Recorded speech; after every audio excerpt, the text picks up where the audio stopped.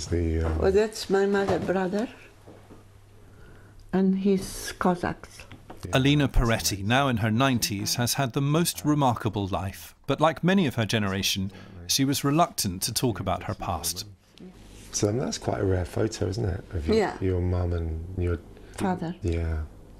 Yeah. Alina's son Jack is an investigative reporter. Is you. It was sort of the biggest story I'd ever come across, and yet it was lying right in front of me, and I'd never bothered to investigate it. And then my mum was diagnosed with dementia. And so we started, we started. I just got my phone out, pressed record, and started talking to my mum, and it all just came flooding out. September 1939, and Germany invades Poland, the start of the Second World War. In the chaos that followed, families became separated, flung to all corners of Europe and beyond. This is Alina with her parents. Her dad, Michael, part of the Polish resistance, ended up in London. Alina, with her mother Olga, was deported to a labour camp in Siberia. I didn't feel um, frightened. I think it was an adventure. Alina's mother was determined to get back to Poland to find her other children, a girl and two boys stuck in occupied Warsaw. She paid smugglers to get them back. And she was saying, if we're going to die, we die together.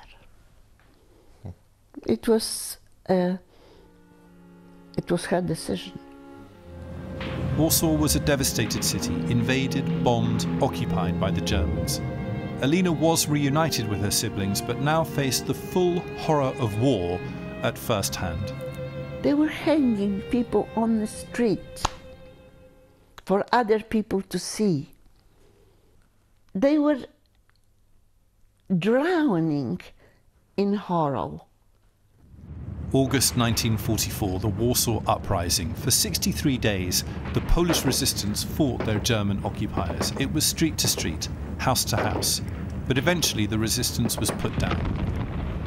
Civilians were rounded up. Alina, her mother, and older sister Jutta were brought to a courtyard to face a firing squad.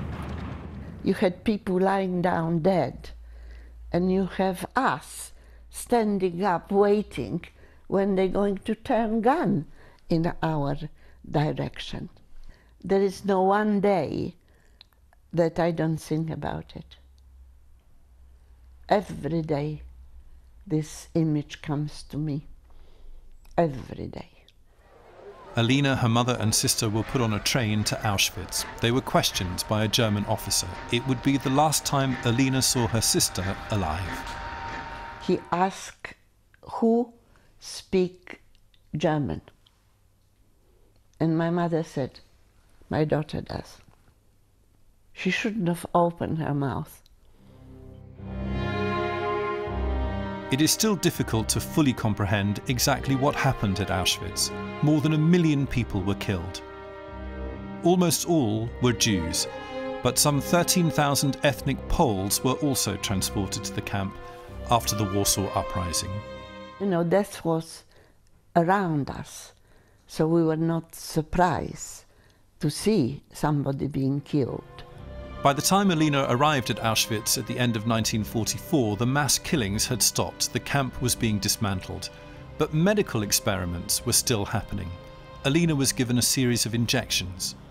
I asked them what these injections are for, and they were in a camp, in a situation of illness. There is a lot of people. We have to protect you. So you know, I went willing to have one, to be protected. You know.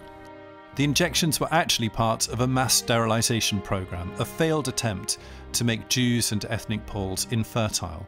The doctor who injected Alina called her his little bird. It is the title of Alina and Jack's book.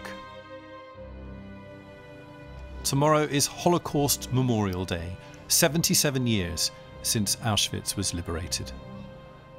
Well, I think it's important that we remember to do anything so it doesn't happen again.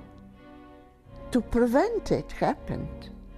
You just sa- said, you know, bloody hell, you know, I'm very lucky that I came out of it. You know, it's uh, unbelievable, you know, that when you found out actually that we survive.